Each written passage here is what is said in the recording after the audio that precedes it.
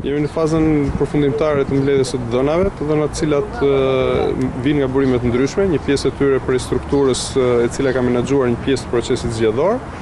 dhe një pjesë tjetër prej burimeve të treta që janë qytetarët, mediat e pavarura ose burime që nuk kanë lidhje ngushtësisht me Partinë Demokratike. Të dhënat janë kategorizuar në të dhënat lidhur me shkelje ose parregullsi që kanë ndodhur përpara procesit zgjedhor, shkelje të cilat kanë ndodhur ditën e zgjedhjeve dhe shkeljet në periudhën e nxjerrjes së rezultatit, pra në periudhën e numërimit dhe të përpunimit të tabelave të rezultateve. Njëkohësisht në momentin që vijnë këtu, ka një grup të posaçëm pune që merret me mbledhjen dhe evidentimin e tyre. Njëkohësisht përpunohen dhe ndahen sipas dhe zonave zgjedhore, qarqeve përkatës,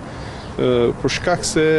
periudha e ankimimit po afron për të gjitha subjektet zgjedhore, moment i cili fillon që nga miratimi i tabelës së rezultateve për çdo zonë zgjedhore nga